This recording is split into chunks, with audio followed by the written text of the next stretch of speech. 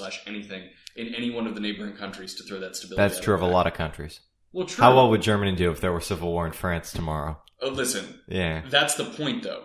That, that it's not surrounded by well developed, well entrenched democracies, as Ryan was pointing out. It's neighbored by a whole bunch of unstable, uh, dim- dictatorial or military junta led regimes. Uh, that the reason that Germany is safe is because it's surrounded by stable, long lasting democracies. By those Fair enough. democracies safe from Germany? Find out next time on the next episode of Talking TWAMPs. Um, Thank you everybody for listening. I hope that you've enjoyed it. We've had fun here today.